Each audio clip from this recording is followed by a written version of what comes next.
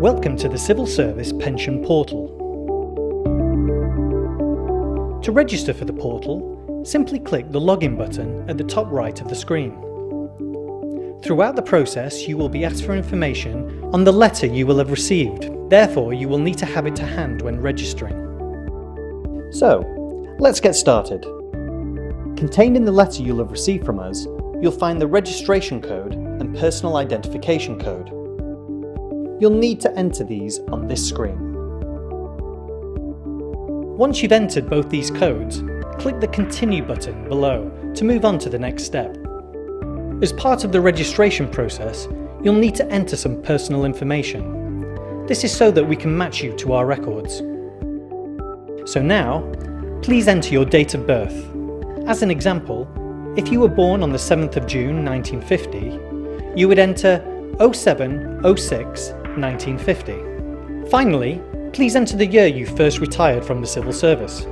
If you took partial retirement in your service, please enter this for the year you first retired.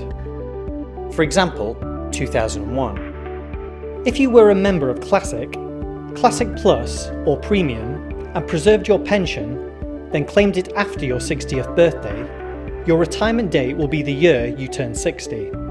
If you have any difficulty when entering this information, then please call us on 0300 790 0590.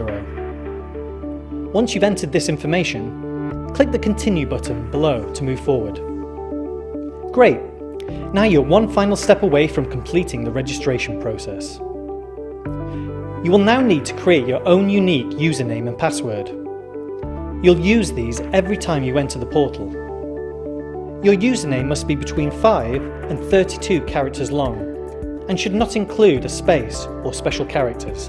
Your password must be at least one uppercase, one lowercase, one number, and one special character. For example, ex at mp1e.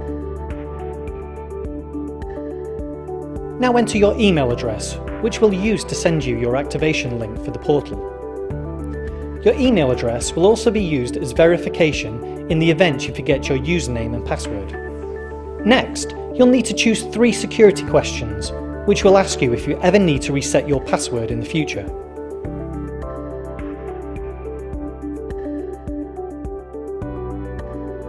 Once you have chosen the questions and input the answers, click on Complete Registration. Great, you're done. We'll now send you an activation link to your email account. Click on this and you'll be able to log in to the portal. Remember, you might need to check your junk mailbox in case it hasn't landed in your inbox. We hope you enjoy using the portal.